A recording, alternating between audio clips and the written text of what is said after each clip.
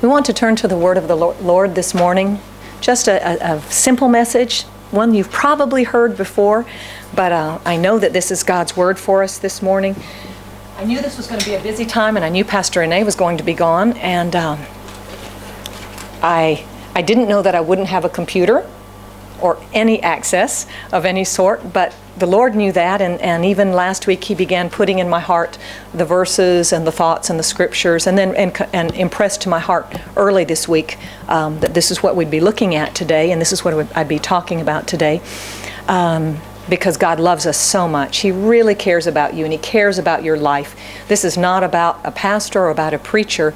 God brings His Word because He loves us individually. He knows what's going on in our lives, and He wants us to be helped, and He wants us to be strengthened, and He wants us to receive what we need to live, to live life here on this earth and to make and to overcome and to be victorious.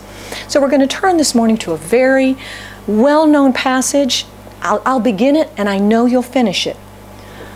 They that wait upon the Lord.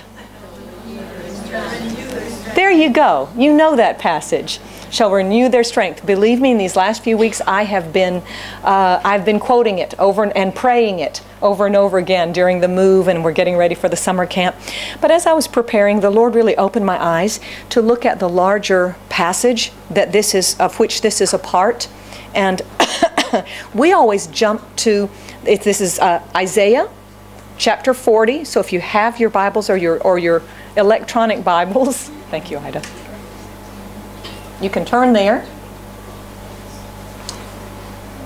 The verse that we have memorized is the very last one. It's verse 31. Those who, and this is a New Living Translation. We're going to look at NIV and some others as well. And we're going to go back and forth between them, but we know it quite well.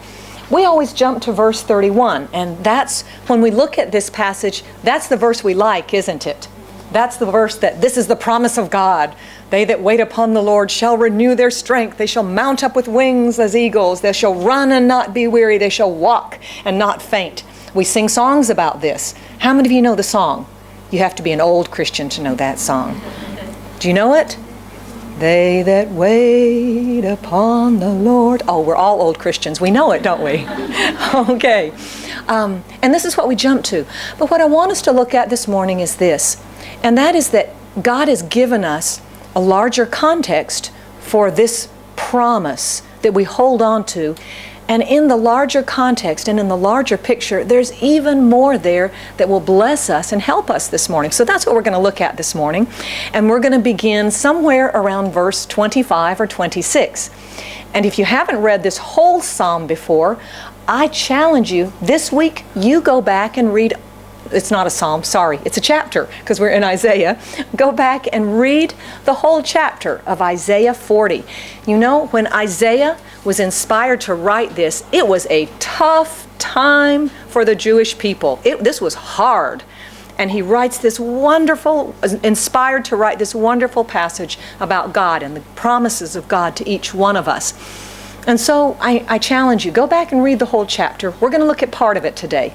And here we have in the New Living, and then we'll look at some other ones as well.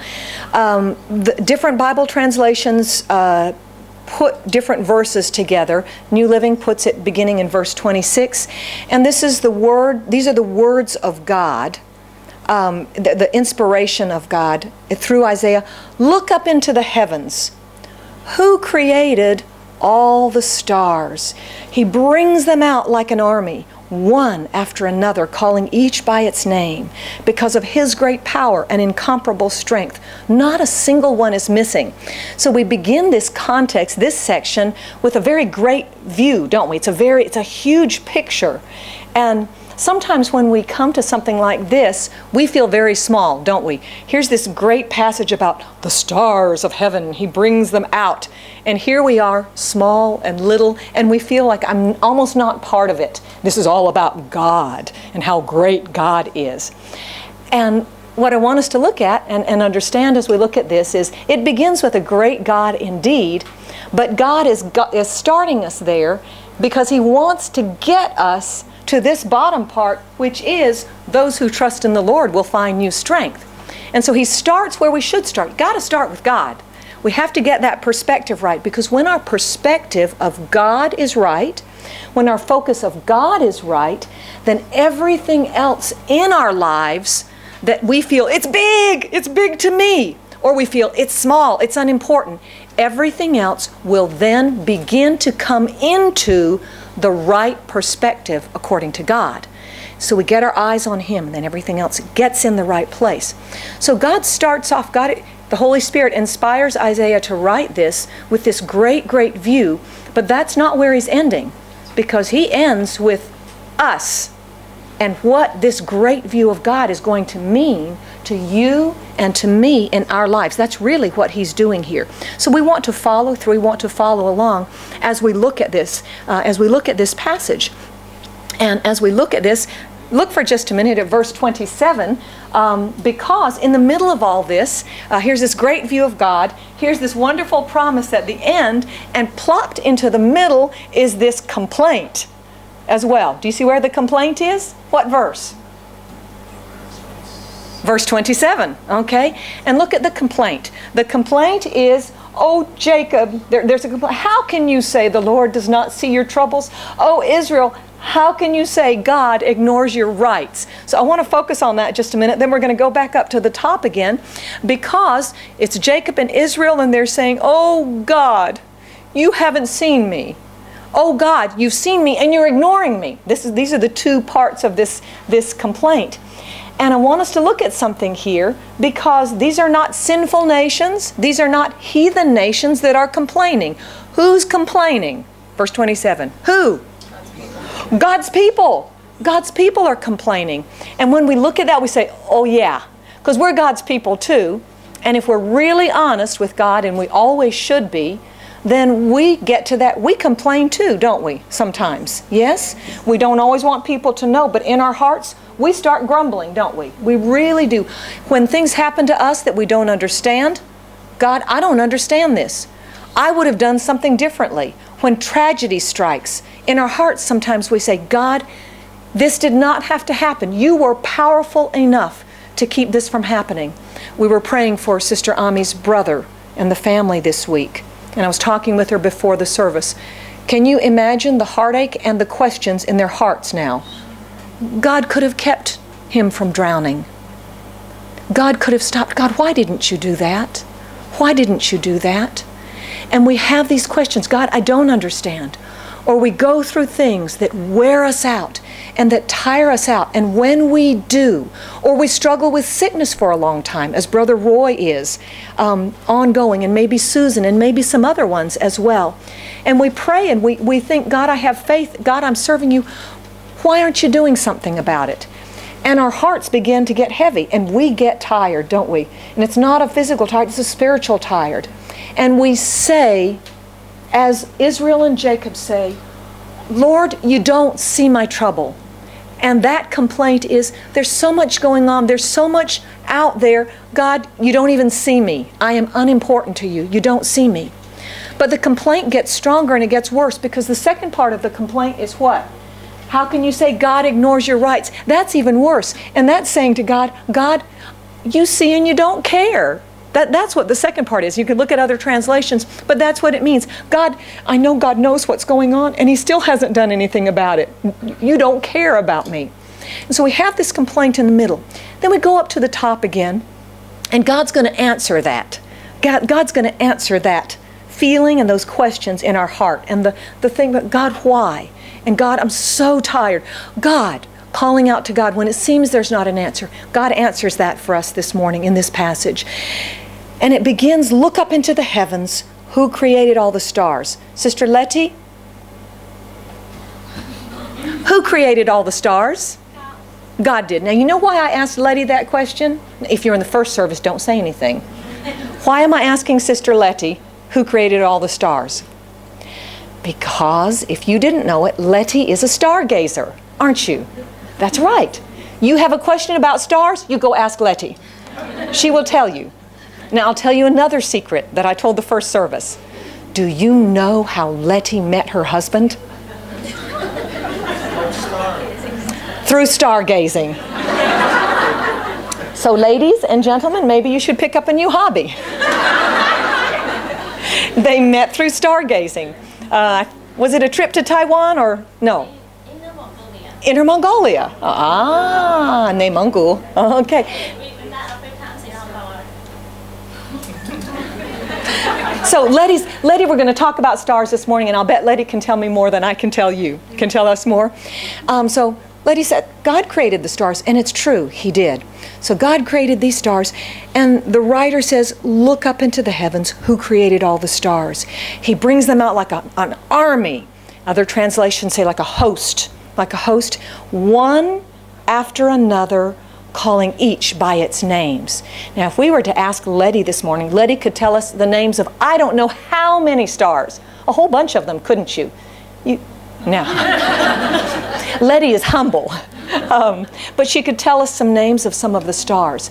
And here we look at this passage, and it tells us that, and, and this is a physical picture. God wants us to understand how He looks at it and how He looks at us. So it's not a perfect parallel, but it helps us to understand.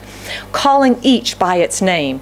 And for me, I like to imagine God calling out the stars. You know, as darkness descend, as darkness falls, and we begin to see the brightest stars first, and then the less bright stars, and then the stars that are dimmer as it gets darker and darker and darker. And I can name maybe four stars. That's it, folks. But God can, knows each one of them. God knows every name. So let's have a little science lesson. Okay, Letty, don't say anything for because she knows the answer, I'm sure. How many stars are there? Um, I looked at. I was looking at a few things this morning, and you know, if I had a computer, I'd have all sorts of. Uh, I'd have all sorts of uh, tech for you. Do we have a picture, Miss Heidi? Did you find one for us of stars? Give us a. Okay, here we go. Keep this up here for just a little bit. Here's a picture of, of part of our Milky Way, and we'll just let's look at this for a little while as, as we as we think about it. Scientists say that just with your own eyes, you can see uh, a few thousand stars. No telescope, no binocular, nothing. You can see a few thousand stars here in Hong Kong when it gets really dark. So you can see a few thousand. You may say, no, I don't think I can. If your eyesight, you, you can see a few thousand. If you could go around the world, southern hemisphere and northern hemisphere, with good eyesight, no telescopes, you could see about 9,000 stars just with your eyes.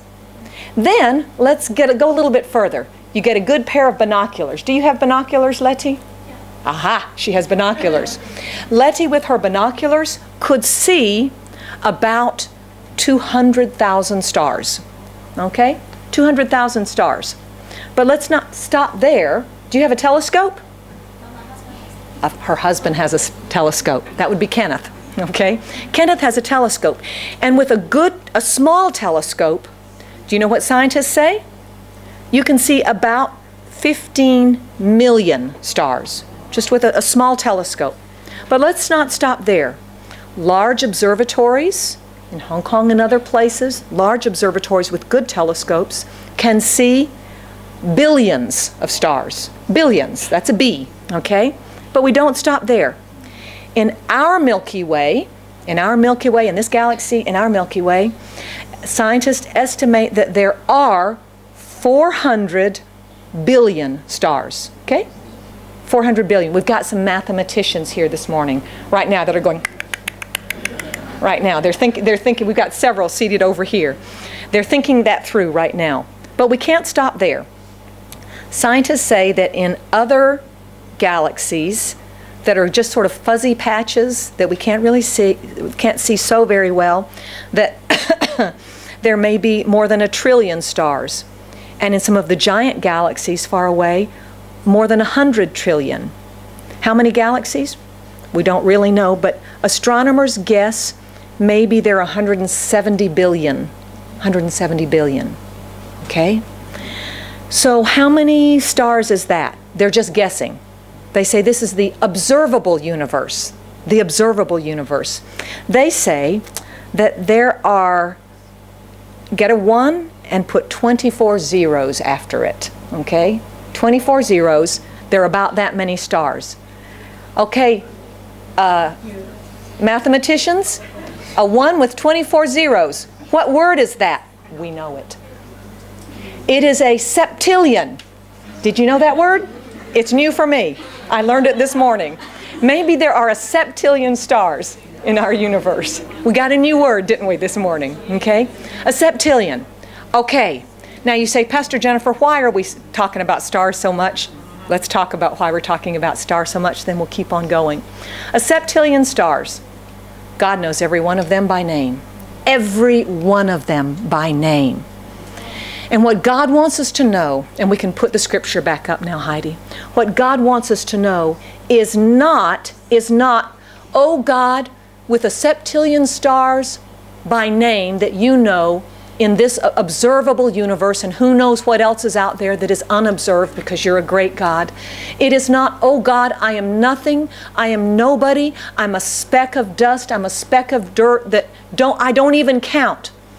God is saying the reverse.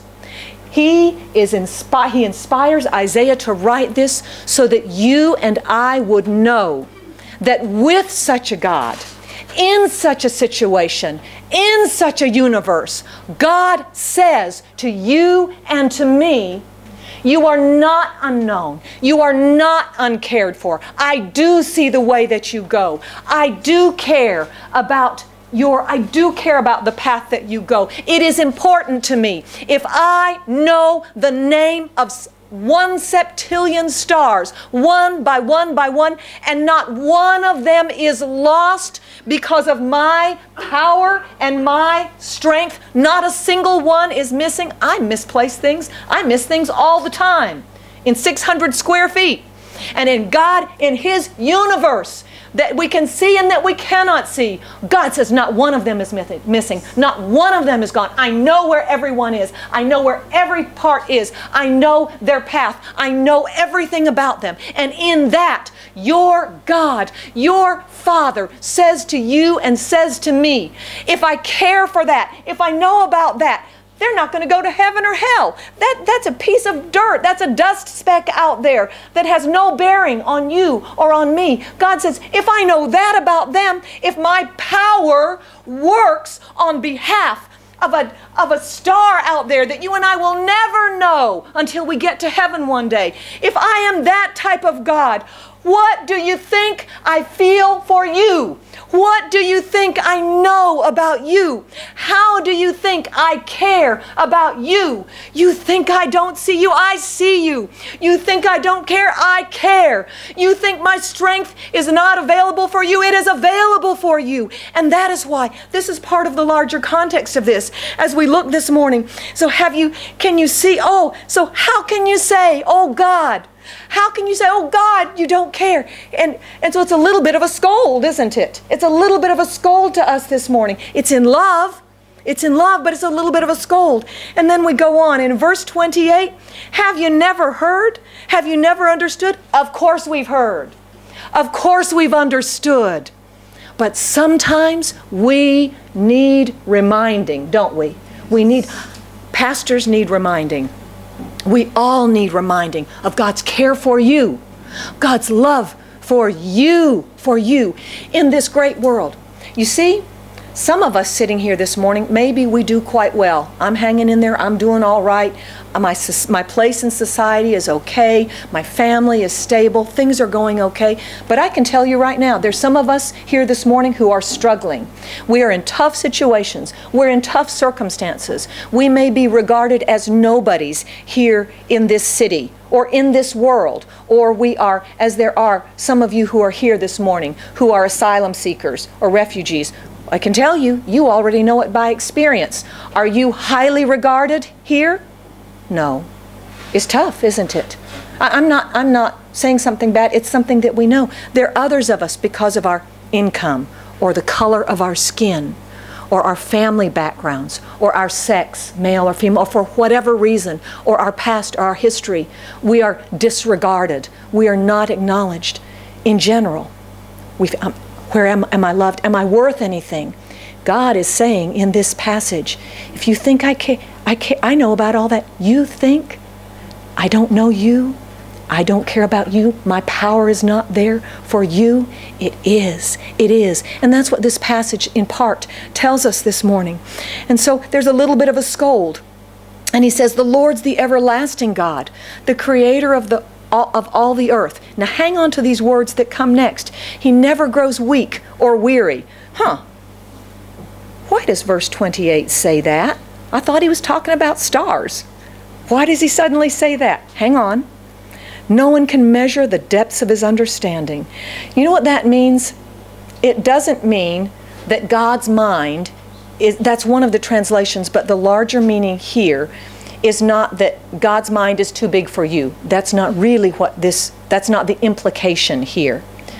The implication here, the, the, impre- the, the, what it means for you and for me is this God's understanding and God's mind is so great and infinite that He holds it all together. He brings it all together. It's not hard for Him. You see, you and I, sometimes we have things going on in our lives and we think, God, I don't know how to bring it together. I don't know how to make it fit. Lord, I'm struggling with this and I'm struggling with that. And, and God, how, how many of you have ever said, you look at your life and things that are going on, have you ever sort of cried out almost, Oh God, how is it going to work? Have you ever have you ever? I have. I really have. God, how is this going to work? And what this impresses on us at this point is that because of God's understanding, it's no problem for Him. He knows how it's going to work. He knows the timing. He knows how it's going to fit together. He knows. We don't, but He does. And then we go on to verse 29. We're going to come back to verse 28. And it says, Suddenly, He gives power to the weak and strength to the powerless. Wow, we've gone from this great view suddenly all the way down to those who are weak and powerless. That's kind of great, isn't it? We've just been having this great view of God, and suddenly He says He gives power to the weak and strength to the powerless. This is this wonderful passage, or He gives strength to the weary, and He increases the power of the weak. And then we move to verse 30, and I'm, I'm moving quickly because I want us to get all the way through this this morning, and our time is not so long. But we look at verse 30, and ver- verse 30 says, Even youths will become weak and tired, and young men will fall in exhaustion. Uh, the NIV says, Even youths grow tired and weary, and young men stumble and fall. Why does God give us that example right there? Why, why does the Holy Spirit inspire that example? Think about it just a minute. And here is a physical Here's a very natural example we can understand. Let me ask you some questions. Sister Lisa, do you sometimes get tired? Oh, yes, she says. Can you go all day long working really hard and not get tired anymore? No, because you know, Sister Lisa is not a youth anymore. and she's never been a young man. We have a natural example plugged in right here so that we can understand. In the natural, who uh, you've met, there's a young man over here you've not met before, but he's going to be part of the camp. His name's Addison, okay? I'll bet you Addison could play games and jump around pretty much all day long. And he'd still be good to go, right? He could still keep on going. Okay, he could why? He's a he's a youth. He's a young man. And in the natural, those that will last the longest and be the strongest are young men and youth. That's just the way it is. That's just the way it is. So, why does God include this at this point? Because He wants us to understand the physical, natural example and then the spiritual parallel. And here it is. Here it is. The strongest of us, don't worry, He's asking questions. We're glad He's here. Amen. We surely are. Keep going, keep our focus. So, in the natural, the strongest young person, the strongest young man, doesn't matter how strong he is, how many muscles he has, how vigorous he is. At some point, he's going to get tired. The strongest, the best. Got it? Take it over to the spiritual now. I don't care how old you are in the Lord. I don't care how mature you are. I don't care how well you've got it all together in your life. I don't care how well you know the Bible from cover to cover. There will be times in your life, there will be times in my life when we will grow tired, when we will feel weak. It is not sin, it is not failure, it is not even lack of faith. It is life. It is life. Every one of us, we will come to that experience. So don't let the devil beat you up when that happens in your life. But instead, we look at this passage. And so he says, You're going to become even youth and even young men. They'll fall in exhaustion or they will stumble and fall. But then we come to verse 31. How does it begin? But. Okay. But those who hope in the Lord will renew their strength. They'll renew their strength. Now, let's go back and look at a couple words right here. We have some other translations, and I know that you know some other translations. What are some other words or expressions for those who hope in the Lord? Anybody? Those who trust in the Lord. Those who wait. wait. Give me some more words after wait. Those who wait upon the Lord. But there's some other expressions there as well. Those who wait for the Lord. That tells us a little bit more now, doesn't it? Because we get the whole picture. Those who hope in the Lord, those who trust in the Lord, those who wait upon the Lord. And the picture there also is waiting upon the Lord. When we are with Him, we're just with Him and we're gaining strength from Him. That's part of it, right? We're with Him in His presence and we're gaining strength. But that's not all that means. The other part of that expression is those who wait for the Lord. Now, think about that for just a minute. Those who wait for the Lord. Because I'll tell you something this morning. God will never make us wait for Him. God will never tie us down and say, Now, I'm not going to let you do anything. I'm going to give you my gift of strength. God will not do that because it will be something we have to choose. And so this has all of that meaning, all of that expression. And he says, Those that wait for Him. And I want us to think about that um, this morning as we come to this last part of the verse. And it helps us to understand those that wait for Him. Because you see, every one of us, there are times when we will not wait for the Lord. Yes or no? We won't wait for the Lord. We pray a little prayer, but our hearts are so anxious and so impatient, we jump in there and we try to do it ourselves, right? And we get all the strength that we have and we go in there. I'm going to make it happen. How many of you have tried to make something happen before? You bet. Keith raised his hand. Me too, Keith. I have too. We try to make it happen. And, brothers and sisters, honestly speaking, that's not waiting for the Lord, is it? And if we try to make something happen that God is going to work out, what happens is we wear ourselves out, we tire ourselves out, we stumble and fall, we grow discouraged, and we won't get it anyhow. We won't make it because there are some things in our lives that only waiting for the Lord will accomplish, that only the Lord can do in our lives, that only God can accomplish. A good example is sitting on the back row of Lighthouse this morning, Keith, who has been waiting for the Lord for work. I told Keith this morning I was going to use his example. I was thinking about him this morning as he was waiting for the Lord, waiting. And he said, Okay, God. And he said, God, by this time, Keith, you know, Keith almost left us. He was waiting for the Lord, but he said, Lord, I'll wait for you. And a job has come through, and it's just come through after a long, long time. But he waited for the Lord. Could he have done something else? Sure, he could have. Could he have tried to make something happen? Sure, he could have. But he waited for the Lord. And when we wait for the Lord, when you wait for the Lord in your life, listen, this is God's word for you this morning. When you wait for the Lord, whatever you're waiting for now, get into God. When you wait for the Lord, He will do it. He will do it. He will do what you cannot do. Beautiful Old Testament, Old Testament example, Abraham, and there are many others, but that's just the one that, that for me was such a strong. God says, I'm going to give you a son. Oh, God, great. God, I'm, uh, great. Okay, who? And Abraham gets tired of waiting for God. And what does he do? He makes something happen. What does he make happen? What, is, what was his name? Ishmael. Well, how did that work out? We're struggling with that, with the effects today, aren't we? We're struggling with that today. So, what does Abraham do? He waits, then he learns to wait.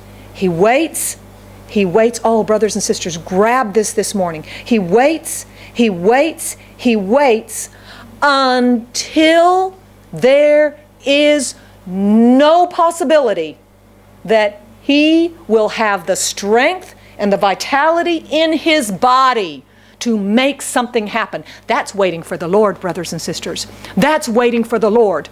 God said, Okay, Abraham, you're going to wait because I'm going to do it. It's going to be a miracle child.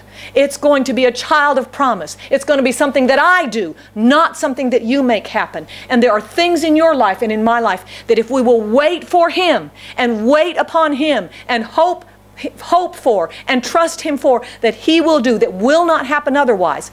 And so God helps Abraham to wait until in his body there's no hope of a child being, being brought forth from Abraham's body. There's no hope for a child being brought forth from Sarah's body. God helps them to wait. God helps them to wait. Because when that son came, it came from God. God did it. There was nothing that Abraham could say, Look what I did. There was nothing that Sarah could say, excuse me, look what I did. It was all God, you did this. God, you did this. And there are your things in there are things in your life and there are things in my life that God wants us to wait on him and to get strength from him so that we know God has done it. God has done it, and there won't be any question about it. It will be God's work. and that's what this verse is talking about. This is a, Abraham is the perfect Old Testament example, and there are New Testament examples as well. Paul is a wonderful New Testament example when he says, I prayed, Oh God, take this thorn out of my flesh, take it away from me three times. And what does God say to Paul? No, my grace is sufficient for you because my strength is made perfect, complete. These are the other translations, fulfilled in your weakness. It's great knowing we've got a great, powerful, strong God up there, but there are times when we must have the practical application and working out of this great, powerful God we have in our lives. And this is what happens when we wait for God. Now, look at this verse as we come to a close this morning and you say, Oh, we haven't even gotten to the best part yet. Isn't it great when we look at the Word of God and He gives us all these other good parts that come before that last verse that we thought, we thought verse 31 was the gem of this whole passage, right? There are jewels all the way through. And it says right here, they that wait for the Lord shall, re- that's from the ESV, shall renew their strength. Let's talk about this word, renew. Early on, it says that God will give strength. But this word renew is a special word and it means exchange. Okay? It means exchange. And so here's the example. Here's the example. Juliet. Here we go. Juliet's tired. She's weary. She's got a lot of burdens, right? I know she does. and she's waiting for the Lord. And her strength is gone spiritually. Her heart is pressed because a lot of times when we deal with things for a long time, it, our, our hearts get weary. It's not a physical weary that sleep can take care of. It's so deep, so much deeper than that. And so Juliet waits for the Lord. And because she's obedient and she waits for him, he always, remember Proverbs 30, verse 5? God keeps every promise he makes. Does. And so Juliet waits for the Lord. And what the Lord does is not just, I'm going to give you some strength. What the Lord says is, give me your weakness, your failing, your stumbling. I take that and I give you strength. That's what renew means. Renew means exchange. When we look at that, then we go back to what I said earlier. I said, hang on to that. What type of strength does God give? What type of strength does He give? Uh, take us back to verse 28. Verse 28, what does it say? He never grows weak or weary. This is the type of strength that God has. It's strength that never gives out. It's, it's not strength, it's not quite enough. It is what is needed. This is the strength that He exchanges your weakness for. He gives you His strength. It's not just a little more of your strength, it's His strength, yeah? It's His strength. And then when He does that, brothers and sisters, we come to verse 31. This is the part that we've always loved. When God does that, This is what happens in our lives. We soar high on wings like eagles. There's this beautiful picture like an eagle. What does an eagle have to do to soar? Almost nothing except put his wings out, right? What does the work?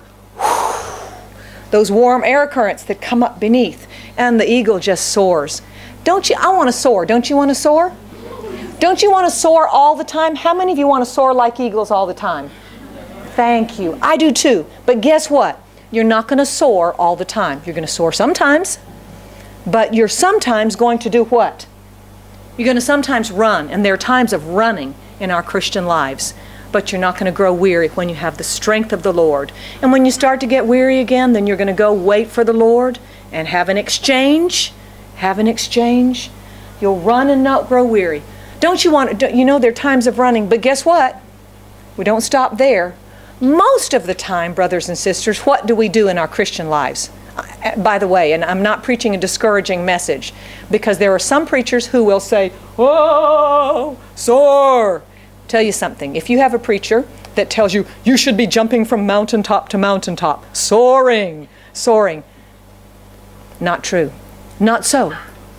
It's still the Lord's strength, it's still the Lord's victory. But there will be times of soaring, there will be times of running, and most of the time, there will be times of walking. They will walk, we will walk, and we will not faint. We will not faint. This is the Lord's promise for you and for me. And so we wait for Him. Are you struggling with some things this morning? Are you saying, God, I am so tired. I've prayed about this for so long.